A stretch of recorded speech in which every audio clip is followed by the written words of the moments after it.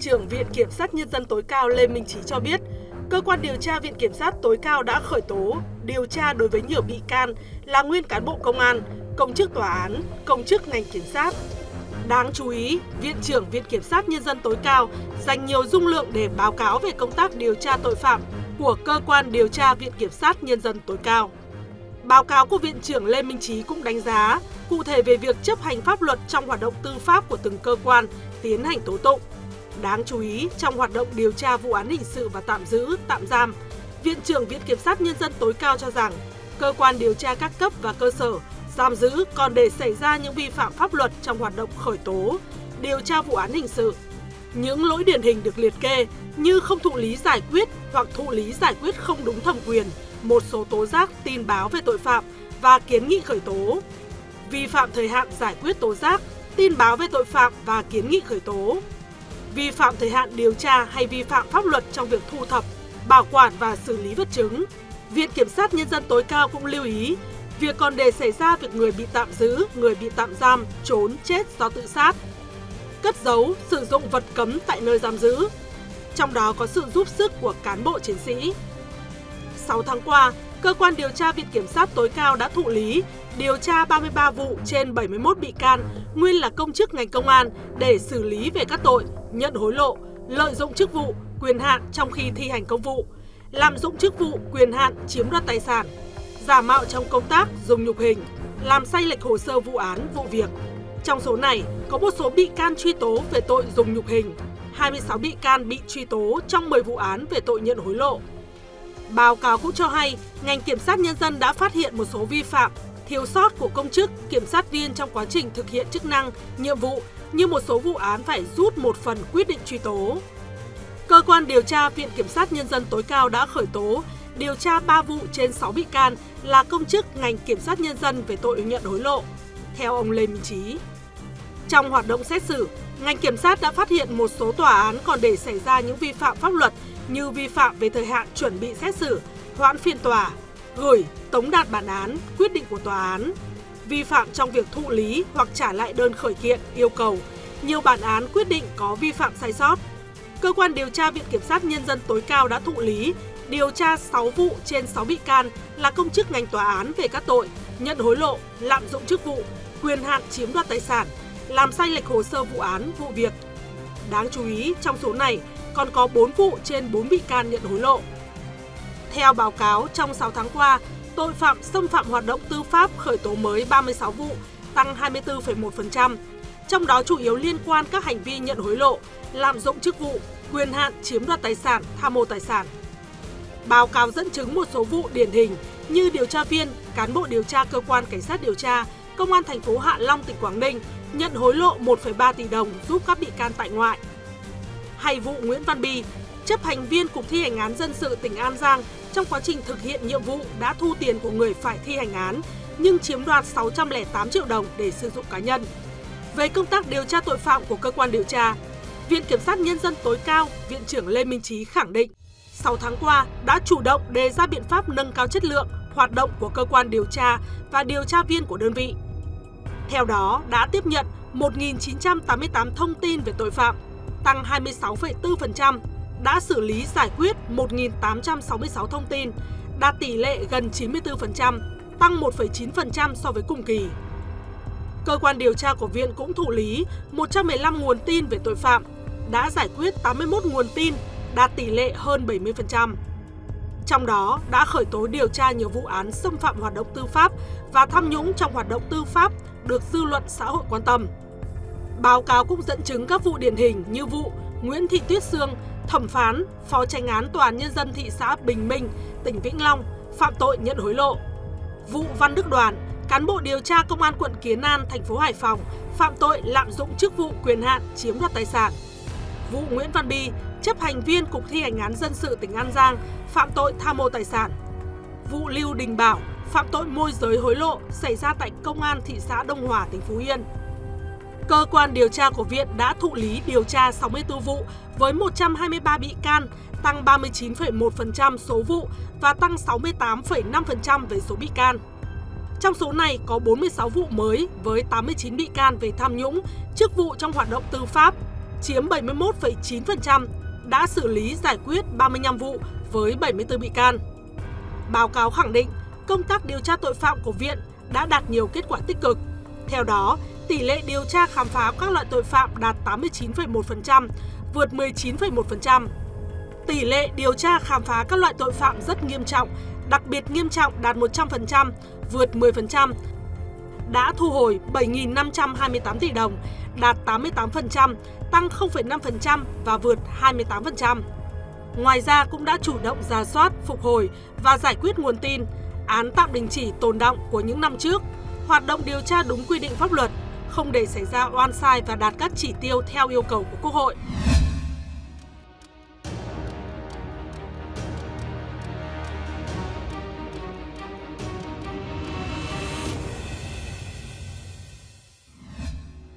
Tòa án Nhân dân tỉnh Thái Bình, Tòa án Nhân dân cấp cao tại Hà Nội mở phiên tòa phúc thẩm xét xử ba cựu cán bộ công an công tác tại nhà tạm giữ Công an huyện Vũ Thư, tỉnh Thái Bình, cùng phạm tội dùng nhục hình, quy định tại Điều 373 Bộ Luật Hình sự năm 2015.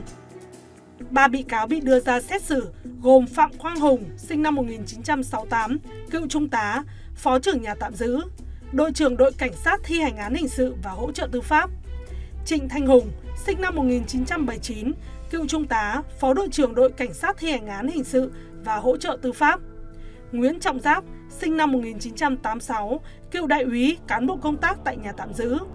Cả ba bị cáo bị tước danh hiệu công an nhân dân theo quyết định của Giám đốc Công an tỉnh Thái Bình. Bị hại trong vụ án là bị can Bùi Văn Bích, sinh năm 1974, trú tại xã Trung An, huyện Vũ Thư, bị cơ quan cảnh sát điều tra công an huyện Vũ Thư khởi tố về tội môi giới mại dâm và bị giam tại nhà tạm giữ công an huyện Vũ Thư. Trước đó trong phiên tòa sơ thẩm ngày 28 tháng 12 năm 2023, Tòa Nhân dân tỉnh Thái Bình đã tuyên phạt các bị cáo Phạm Quang Hùng 11 năm tù, Trịnh Thanh Hùng 10 năm tù giam và Nguyễn Trọng Giáp 15 năm tù giam. Ngoài ra, ba bị cáo buộc phải bồi thường dân sự cho gia đình bị hại với số tiền là 246 triệu đồng. Tuy nhiên sau đó, bị cáo Trịnh Thanh Hùng kháng cáo xin giảm nhẹ hình phạt. Bị cáo Nguyễn Trọng Giáp kháng cáo xin giảm nhẹ hình phạt và được hưởng án treo. Đại diện hợp pháp của bị cáo kháng cáo toàn bộ bản án yêu cầu điều tra lại để làm rõ một số tình tiết. Trình bày tại tòa lần này, đại diện gia đình bị hại cho biết dù rất bức xúc nhưng gia đình xác định đánh kẻ chạy đi không ai đánh kẻ chạy lại nên xin giảm nhẹ hình phạt cho các bị cáo. Kết thúc phần xét hỏi, đại diện Viện Kiểm sát Nhân dân cấp cao nhận định ba bị cáo bị xét xử tội dùng nhục hình là đúng người đúng tội. Tại tòa, đại diện bị hại không đưa ra được tình tiết chứng minh cơ quan tố tụng làm sai lệch hồ sơ nên không có cơ sở xem xét kháng cáo của bị hại. Chấp nhận đề nghị xin giảm án của đại diện bị hại, Viện Kiểm sát Nhân dân đề nghị Hội đồng xét xử xem xét đây là tình tiết để giảm nhẹ án phạt cho các bị cáo. Đề nghị hội đồng xét xử tuyên giảm án cho Trịnh Thanh Hùng và Phạm Quang Hùng, mỗi người giảm một năm tù. Bị cáo Nguyễn Trọng Giáp giảm 3 tháng tù. Hội đồng xét xử nhận định các bị cáo thừa nhận hành vi phạm tội, hành vi của các bị cáo là xâm hại đến tính mạng của người khác, cần có mức án đủ mạnh để giáo dục, cải tạo, gian đe, phòng ngừa chung. Hội đồng xét xử phúc thẩm xét thấy các bị cáo ăn năn hối cải đã bồi thường một phần cho gia đình bị hại, được nhiều bằng khen trong quá trình công tác. Tại phiên phúc thẩm, ba bị cáo mỗi người đã bồi thường thêm cho gia đình bị hại 20 triệu đồng. Gia đình bị hại cũng xin giảm án cho các bị cáo. Do đó, hội đồng xét xử cấp phúc thẩm có cơ sở xem xét kháng cáo, giảm án cho ba bị cáo. Theo cáo trạng, trong thời gian bị tạm giữ tại nhà tạm giữ, Công an huyện Vũ Thư, Bùi Văn Bích có hành vi vi phạm nội quy giam giữ, quậy phá la hét, tự gây thương tích. Phạm Quang Hùng, Trịnh Thanh Hùng là cán bộ quản giáo, trưởng các ca trực từ ngày 27 tháng 1 đến mùng 5 tháng 2 năm 2022 đã không báo cáo lãnh đạo xử lý theo quy định của pháp luật.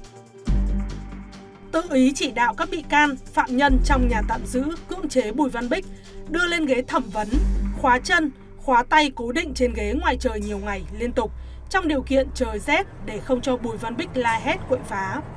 Trong đó có hai lần kéo dài liên tục gần 5 ngày. Thời tiết rét đậm, rét hại làm cho Bùi Văn Bích bị nhiễm khuẩn từ không khí, bị viêm phổi, phế quản nặng, suy hô hấp dẫn đến tử vong. Bà Bùi Thị Luyến, 44 tuổi, trú tại xóm 7, thôn Bồn Thôn, xã Trung An, huyện Vũ Thư, tỉnh Thái Bình đã gửi đơn tố giác đến cơ quan chức năng về việc chồng mình là ông Bùi Văn Bích đang bị giam giữ thì tử vong bất thường tại công an huyện Vũ Thư. Theo đơn tố giác, vào trưa ngày 19 tháng 9 năm 2021, một số người tự xưng là cán bộ công an của công an huyện Vũ Thư tìm đến nhà yêu cầu vợ chồng bà đến trụ sở công an huyện để làm việc liên quan nghi vấn tới ông Bùi Văn Bích có dấu hiệu phạm tội môi giới mại dâm. Đơn thư bà Luyến nêu, sau khi lấy lời khai thì tôi được cho về, nhưng anh Bích đã bị giam giữ lại. Từ khi anh Bích bị bắt giữ cho đến tháng 2 năm 2022, gia đình tôi đã nhiều lần đề nghị được thăm gặp nhưng công an huyện Vũ Thư đều từ chối. Lúc thì nói là đang trong giai đoạn điều tra nên không được thăm gặp, lúc thì nói là do tình hình dịch bệnh Covid-19 diễn ra phức tạp. Đến tối ngày 20 tháng 2, gia đình bà Luyến bất ngờ nhận được một cuộc gọi từ một người tự xưng là cán bộ công an huyện Vũ Thư. Thông báo gia đình bà Luyến về việc ông Bích bỏ ăn, ngất xỉu và đã được công an huyện đưa đến bệnh viện đa khoa huyện Vũ Thư để cấp cứu. Nhận được tin báo, bà Luyến đã đến bệnh viện lúc 19 giờ 20 phút tối cùng ngày. Lúc này bà bàng hoàng khi thấy chồng mình đã tử vong. Trong đơn bà Luyến viết, trên người anh Bích có rất nhiều vết thương bầm tím, xước sát trên vùng mặt, chân tay và toàn bộ cơ thể. Có những vết thương đã đóng vẩy và có cả những vết thương mới có dấu hiệu máu đã khô vùng mặt. Tôi được bác sĩ ở đây cho biết chồng tôi đã tử vong trước khi đưa đến bệnh viện. Việc chồng bà Luyến tử vong với nhiều dấu vết bất thường nên gia đình bà Luyến đã làm đơn tố giác gửi đến cơ quan chức năng để đề nghị điều tra nguyên nhân cái chết bất thường của ông Bích. Quá trình xác minh điều tra, ngày 10 tháng 11, cơ quan điều tra Viện Kiểm sát Nhân dân tối cao đã phê chuẩn tống đạt các quyết định khởi tố bị can, lệnh bắt bị can để tạm giam đối với Phạm Quang Hùng, cựu đội trưởng và Trịnh Thanh Hùng, cựu đội phó đội cảnh sát thi hành án hình sự và hỗ trợ tư pháp, công an huyện Vũ Thư tỉnh Thái Bình về tội dùng nhục hình, được quy định tại khoản 4 điều 373 Bộ luật hình sự. Trước khi bị khởi tố bắt giam, cả hai đã bị thi hành án kỷ luật, tước quân tịch công an nhân dân. Bị can Nguyễn Trọng Giáp là cán bộ quản giáo ca trực ngày 4 tháng 2 năm 2022. Khi vào kiểm tra nhà tạm giữ đã dùng tay tác động nhiều lần vào mặt, đầu của Bích đang bị khóa cố định trên ghế thẩm vấn. Hành vi của Nguyễn Trọng Giáp đã phạm tội dùng nhục hình quy định tại khoản 1 điều 373 Bộ luật hình sự. Theo hội đồng xét xử, hành vi phạm tội của các bị can đã xâm phạm sức khỏe tính mạng của Bùi Văn Bích, xâm phạm hoạt động đúng đắn của cơ quan nhà nước, ảnh hưởng uy tín của cơ quan tư pháp, vì vậy cần xử lý nghiêm khắc để gian đe và phòng ngừa. Điều 373 Bộ luật hình sự năm 2015 sửa đổi bổ sung năm 2017 quy định về tội dùng nhục hình như sau. Thứ nhất, người nào trong hoạt động tố tụng, thi hành án hoặc thi hành các biện pháp đưa vào trường giáo dưỡng, đưa vào các cơ sở giáo dục bắt buộc, đưa vào cơ sở cai nghiện bắt buộc mà dùng nhục hình hoặc đối xử tàn bạo, hại nhục nhân phẩm của người khác dưới bất kỳ hình thức nào thì bị phạt tù từ 6 đến 3 năm. Thứ hai là phạm tội thuộc một trong các trường hợp sau đây thì bị phạt tù từ 2 đến 7 năm. Phạm tội hai lần trở lên, đối với hai người trở lên, dùng thủ đoạn tinh vi xảo quyệt. Đối với người dưới 18 tuổi, phụ nữ mà biết có thai, người già yếu, người khuyết tật nặng hoặc khuyết tật đặc biệt nặng. Gây thương tích hoặc gây thiệt hại về sức khỏe cho người khác mà tỷ lệ tổn thương cơ thể từ 11% đến 60%. Thứ ba là phạm tội thuộc một trong các trường hợp sau đây thì bị phạt tù từ 7 năm đến 12 năm. Gây thương tích hoặc gây thiệt hại về sức khỏe cho người khác mà tỷ lệ tổn thương cơ thể 61% trở lên. Làm người bị nhục hình tự sát. Phạm tội làm người bị nhục hình tử vong thì bị phạt tù từ 12 năm đến 20 năm hoặc tù trung thân. Người phạm tội còn bị cấm đảm nhiệm chức vụ nhất định từ 1 đến 5 năm. Thành phố Hà Nội xét xử bị cáo Nguyễn Sơn Thành, 41 tuổi, cựu cán bộ công an phường Minh Khai, quận Bắc Từ Liêm, thành phố Hà Nội, cùng các bị cáo trong vụ án cờ bạc thông qua hình thức ghi lô đề. Vụ án này khởi tố từ cuối năm 2018. Thành và nhiều bị cáo khác không thừa nhận hành vi phạm tội. Đến nay vẫn chưa thể ngã ngũ. Hội đồng xét xử tuyên phạt bị cáo Nguyễn Sơn Thành, 41 tuổi, cựu cán bộ công an phường Minh Khai, quận Bắc Từ Liêm, Hà Nội, 6 năm tù về tổ chức đánh bạc, Đỗ Mạnh Dương, 5 năm tù, Nguyễn Thị Thanh, 4 năm tù, Lê Đức Lợi, 24 tháng tù, Mai Thị Khanh, 20 tháng tù nhưng cho hưởng án treo cùng về tội đánh bạc. Hai bị cáo còn lại là Hoàng Văn Hoan, cựu cán bộ công an phường Minh Khai và vợ là Quách Thị Thơm bị đề nghị lần lượt là 24 tháng tù và 20 tháng nhưng cho hưởng án treo cùng về tội cho vay lãi nặng trong giao dịch dân sự. Bản án cho thấy vợ chồng Hoàng Văn Hoan chuyên cung cấp dịch vụ cho vay tài chính đối với cán bộ, chiến sĩ trong ngành công an. Từ năm 2017 đến năm 2018, hai bị cáo cho 52 người vay tiền. Tổng số tiền cho vay là hơn 3,1 tỷ đồng, lãi suất là 146% một năm hoặc 182,5% một năm, thu lời bất chính hơn 920 triệu đồng. Quá trình cho vay, Hoan rủ Nguyễn Sơn Thành hùn vốn nhưng Thành từ chối. Thay vào đó cho Hoan vay với lãi suất là 1.000 đồng một triệu mỗi ngày. Trong số tiền Hoan cho vay lãi nặng, cơ quan tố tụng xác định có khoảng 1,9 tỷ đồng từ tiền vay của Thành. Thành khẳng định chỉ cho Hoan vay. Còn sau đó Hoan dùng tiền vào việc gì thì không biết. Do lãi suất vay dưới 100% một năm, Thành không bị xử lý về hành vi cho vay lãi nặng trong giao dịch dân sự.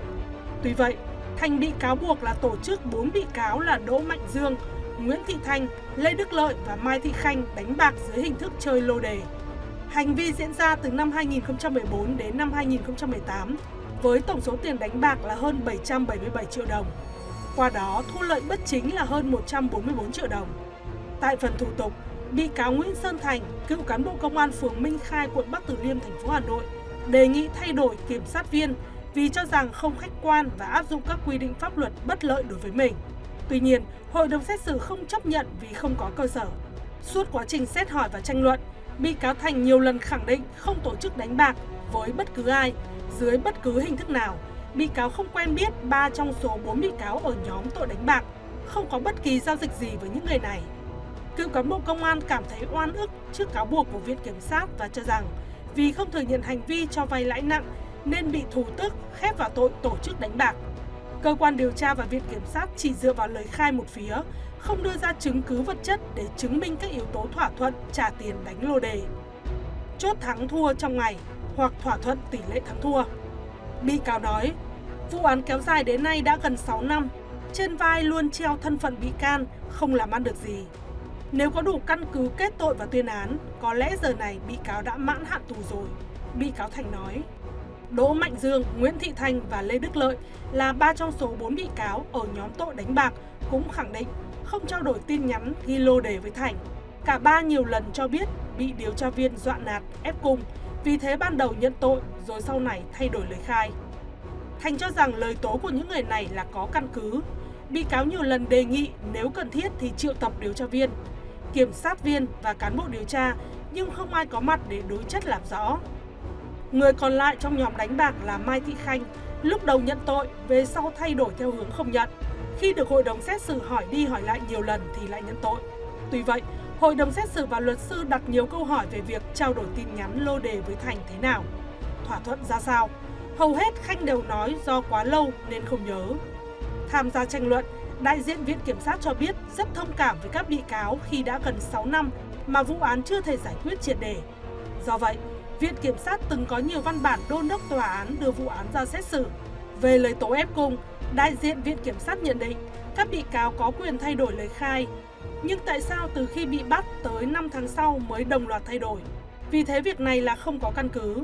Chưa kể, tại các phiên tòa lần trước, các điều tra viên cũng đã có giải trình, báo cáo, đồng thời không có tài liệu gì thể hiện việc ép cung nhục hình.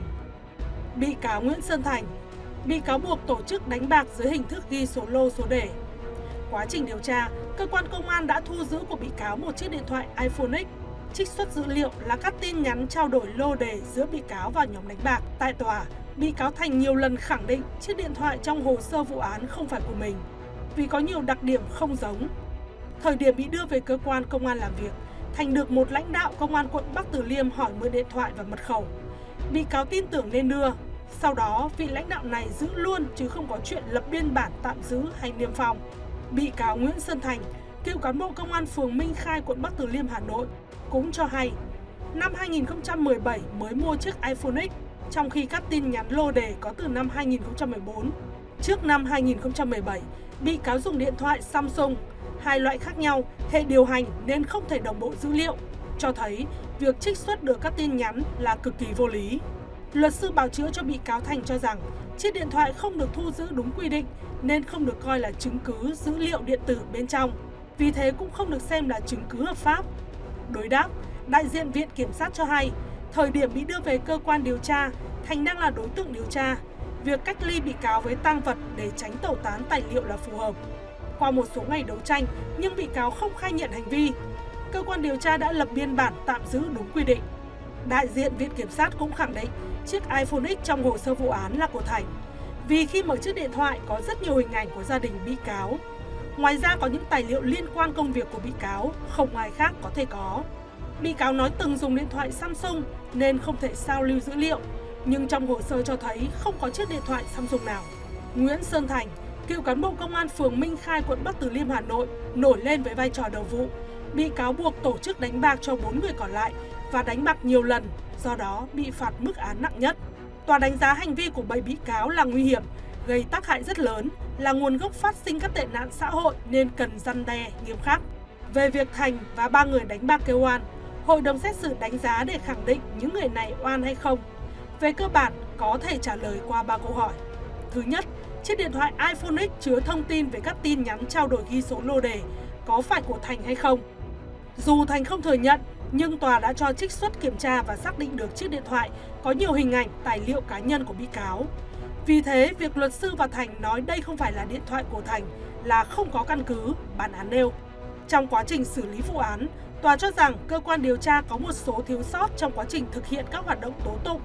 Điển hình như liên quan chiếc điện thoại iPhone X, song đến nay chưa đủ căn cứ để chứng minh có việc lập biên bản thu giữ ngay từ đầu. Cũng chưa đủ cơ sở cho thấy có vi phạm quy định tố tụng. Về việc này, tòa cho rằng cơ quan điều tra công an Hà Nội cần nghiêm túc rút kinh nghiệm. Quá trình điều tra, một số bị cáo được triệu tập và không lấy được lời khai nhưng không lập biên bản. Điều này là chưa chặt chẽ, chưa đảm bảo theo quy định tố tụng hình sự. Dù có thiếu sót, nhưng những điều trên không làm thay đổi bản chất vụ án. Hội đồng xét xử khẳng định các tài liệu được thu thập trong hồ sơ là hợp pháp. Thứ hai, các bị cáo bị ép cung, bức cung hay không. Hội đồng xét xử đặt giả thiết nếu thực sự bị các điều tra viên đe dọa ép cung thì ngay sau khi được tại ngoại, các bị cáo phải có đơn thư khiếu nại tố giác. Nhưng trên thực tế, việc này không xảy ra. Các điều tra viên, kiểm sát viên bị tố giác đều phủ nhận cáo buộc, hoặc một số người không có tên như các bị cáo khai. Vì thế, tòa phán quyết không có căn cứ về việc các bị cáo bị ép cung. Thứ ba, chiếc điện thoại iPhone X thành mua từ năm 2017 có thể chứa dữ liệu từ năm 2014 hay không? Tại tòa, Thành cho rằng trước năm 2017 sử dụng điện thoại Samsung nên không thể đồng bộ dữ liệu tin nhắn từ năm 2014 sang iPhone.